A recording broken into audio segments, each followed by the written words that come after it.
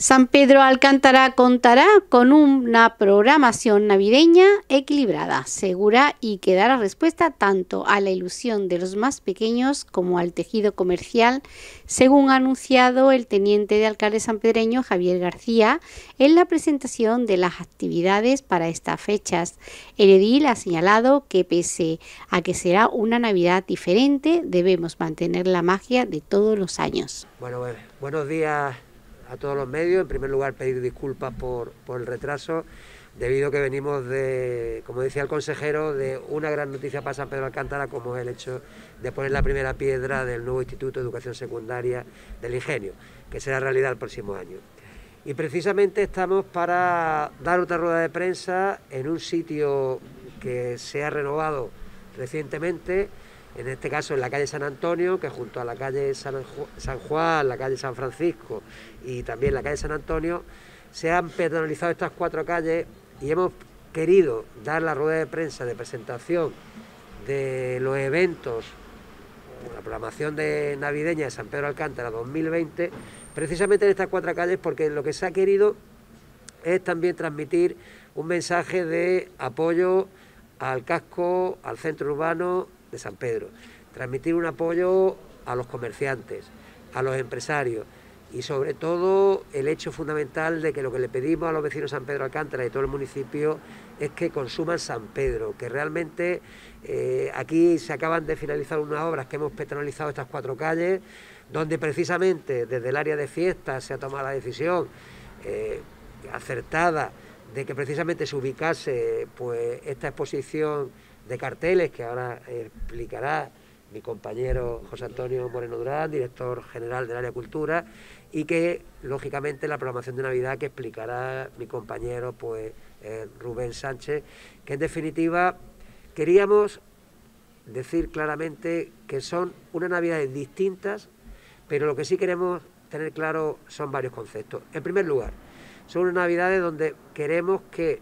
en primer lugar se guarden todas las medidas que tanto las autoridades sanitarias como la Junta de Andalucía están planteando con respecto al COVID. Estamos intentando, hemos realizado una programación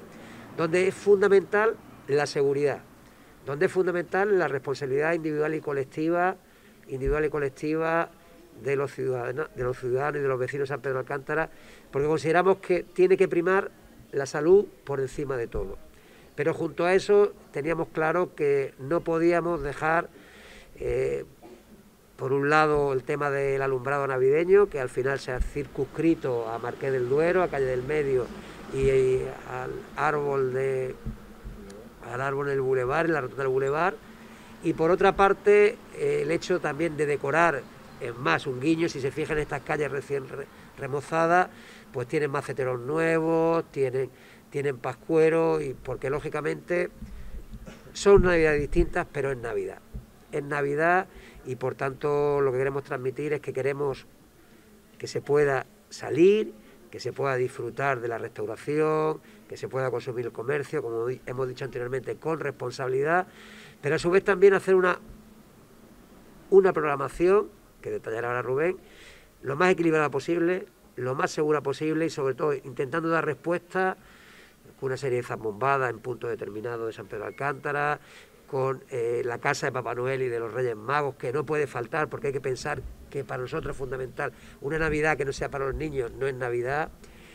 Y por supuesto, también con esta exposición de cartelería que le da un toque de calidad, porque consideramos que lo empezamos con los carteles de feria eh, durante la feria que no se pudo celebrar y la intención es seguir en el tiempo realizando estas exposiciones y finalmente, el día grande. El día grande, alguien dirá, ¿cuál es el día grande? Para los cristianos el día de Navidad, Nochebuena y Navidad, pero lógicamente son eh, actos religiosos fundamentalmente y de familia, familias limitadas, como sabemos, pero el día grande para nosotros y para la delegación de fiestas, tanto en Marbella como en San Pedro, es la cabalgata de Reyes Magos. Este año tendrá otro concepto, será en el Boulevard, una cabalgata estática, donde primará y ahora lo explicará él, primará, como decíamos anteriormente, la seguridad y decir que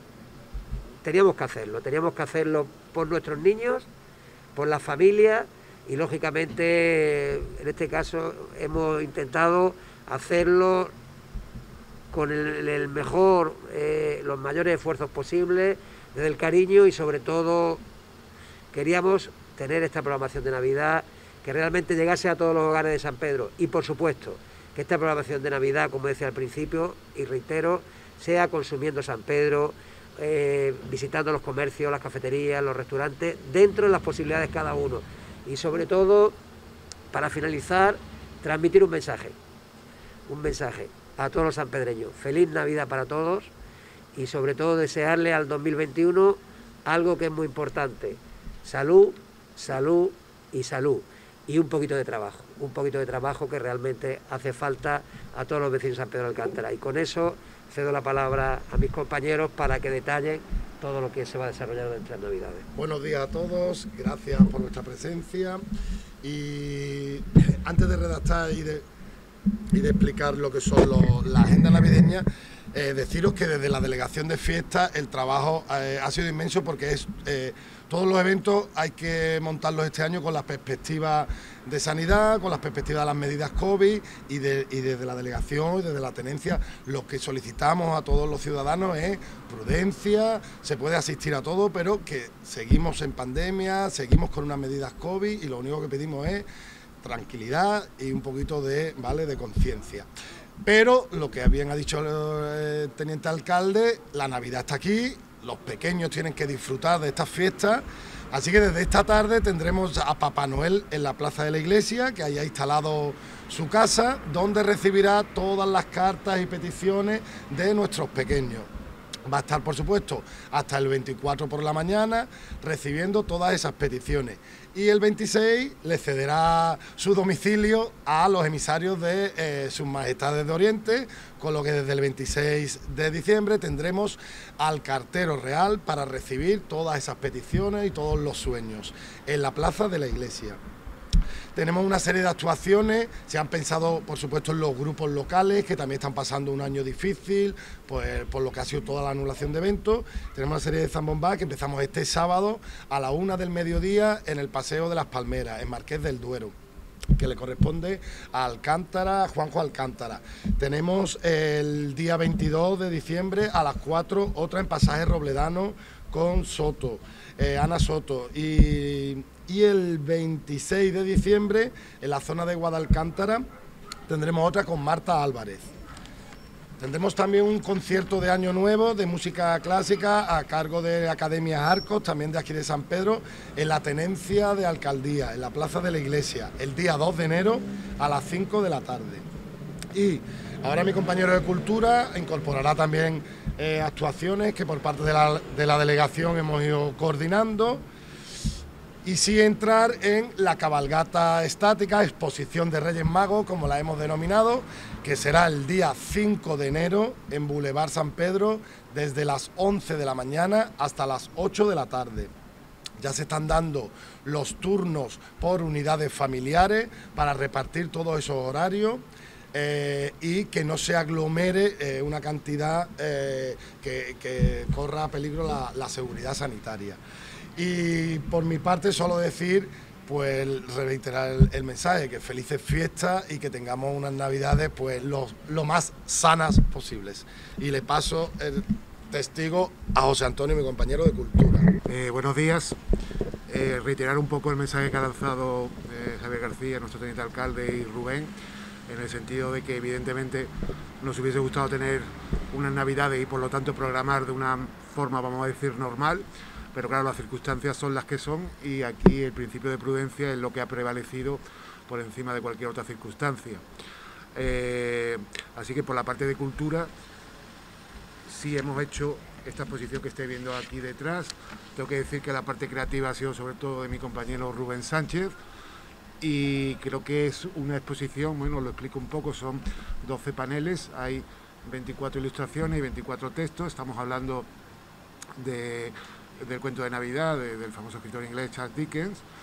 y se hace un recorrido, vamos a decir, cultural comercial, que se hace un poco para potenciar pues que los sanpedreños con sus hijos den una vuelta por este centro renovado, con estas cuatro calles que se han reformado, y para que consuman también un poco que le hace falta a nuestros comercios locales, mientras eh, pues son, pueden leer y pueden ver este cuento navideño de Charles Dickens. Insisto un poco en lo que ha comentado el teniente alcalde, creo que ahora mismo este tipo de eventos estáticos eh, son muy buenos porque no requiere la infraestructura de a lo mejor donde hay una muchedumbre, donde hay mucha gente y creo que estamos apostando por ello. Se hizo para las ferias, se ha hecho para Navidad y tenemos en mente hacer algo en los próximos meses a través de, la recomposición de fotos en blanco y negro, fotos de color y tal. Dicho esto, la otra actuación que, que ha previsto la Delegación de Cultura es el concierto de Navidad, que es el día 27 en el Paseo de las Palmeras a las 5 de la tarde vendrá la Málaga Brass Band, que son más de 25 músicos, todos ellos pues profesores de conservatorio o, en algún caso profesionales de orquestas ya reputadas. El concepto de las Brass Band pues es que se juntan en un determinado momento para hacer una determinada actuación.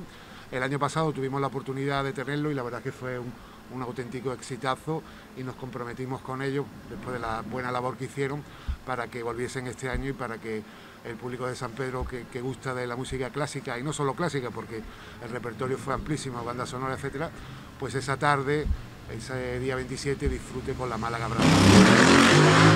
Y bueno, por último, decir lo mismo que mis compañeros, que una feliz fiesta a todos, empezando por vosotros y a aquellos que nos ven y nos escuchan. ¿Tenéis alguna pregunta? Las cuatro calles son estas que estamos aquí, que es San Antonio, San Juan,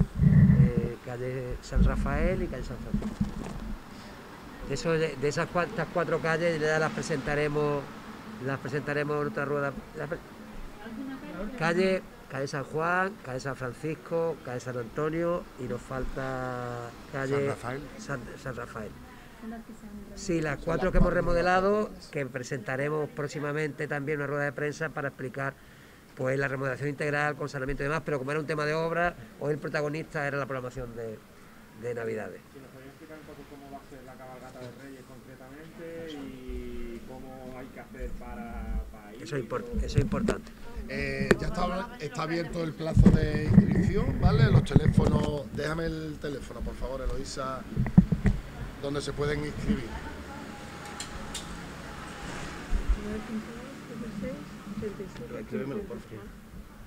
Eh, se ha preparado en la zona central del bulevar, en el tramo que va desde el ingenio a la rotonda principal. El acceso será por la rotonda principal, ahí estará el punto de acceso. Eh, se irá entrando por unidades familiares máximos de seis y por franjas horarias que ya se están repartiendo los turnos. Eh, ya digo, ahora aportaré el teléfono donde pueden llamar eh, se abrieron ayer las inscripciones y ha tenido una afluencia masiva. Mis compañeras de turismo eh, eh, están que no paran con recibiendo llamadas, o sea, ha tenido muy buena aceptación. Las carrozas estarán instaladas en toda la parte central, donde normalmente ponemos lo que son los food y toda la parte de mercadillo, todo esto. Ahí estarán las carrozas y las animaciones quietas y serán los padres y los niños los que hagan un recorrido, primero por todo el carril bici, para poder ir separando y luego ya entrarán a la parte central donde podrán ir visitando y viendo a sus majestades, por supuesto con, la, eh, con las medidas, con la separación, pero generando un entorno que el niño pueda disfrutar. Empezará a las 11 de la mañana hasta las 8 de la tarde estará la exposición Cabalgata de Reyes Magos para que tengamos el máximo tiempo posible y podamos dividir a todas las familias por franja horaria. Los teléfonos el 952 76 87 50 y 952 76 87 51. Ahí pueden llamar, un titular de la unidad familiar dará sus datos y ya se le irán asignando a las franjas horarias que vayan quedando las que ellos soliciten.